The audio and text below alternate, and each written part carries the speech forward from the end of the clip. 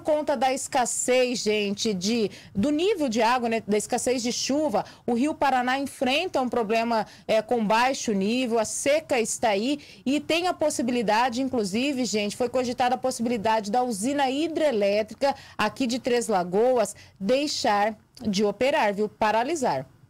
Desde o último domingo, o medidor do Operador Nacional do Sistema Elétrico, ONS, apontam que o cenário é crítico na barragem de Ilha Solteira e Jupiá, que tem como referência de volume útil a cota de 323 metros definida pela Agência Nacional de Águas. As condições drásticas enfrentadas na bacia do Rio Paraná, onde o transporte fluvial já foi interrompido. Ocorre que o reservatório já opera bem abaixo e no último final de semana chegou a nível drástico de 319 metros.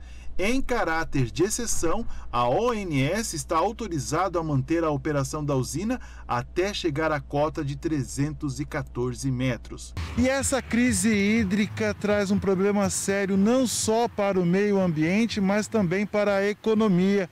Caso as hidrelétricas parem, as termoelétricas terão que sustentar aí o fornecimento de energia. E com isso, a energia elétrica continuará mais cara.